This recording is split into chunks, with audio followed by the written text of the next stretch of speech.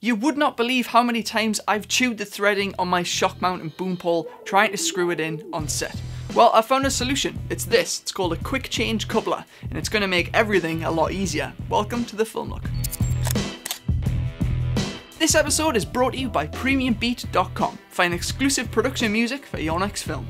I'm a DIY sound recordist, and because of this, no knowledge has been passed down generation after generation. If this was the case, I imagine I'd discover one of these many years ago. This is the Triad Orbit IOR Quick Change Coupler. Let me show you how it works. I use a Rode micro boom pole and a Rode blimp. The problem I have with this equipment is the fact that the threads are made out of two different types of metal, so one contact is naturally softer than the other, making it prone to chewing up and destroying the screw unless you're super slow and careful putting it together. So instead of risking damage to your equipment every time you want to attach a shock mount, you can use a coupler. You simply screw each part of the boom pole and the shock mount, and when you want to attach it, you pull the release back, slot it into place, let go, and it grips it tight. It's essentially the same thing as a quick release plate on a tripod and camera.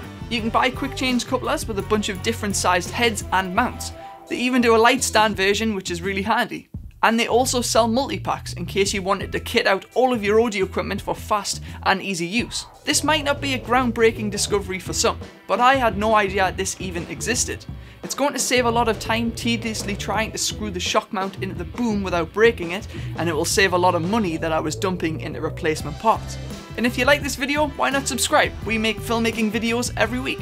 If you like the music in this episode, then check out premiumbeat.com. Visit their royalty-free library if you need a wicked track for your next film, client work, or YouTube video. We've put a link in the description below. If you're starting out in sound, take a look at our indie film sound guide. We run through all the basics of recording sound for micro budget and small indie level productions. Thanks for watching the Film look and remember, achieve it one shot at a time.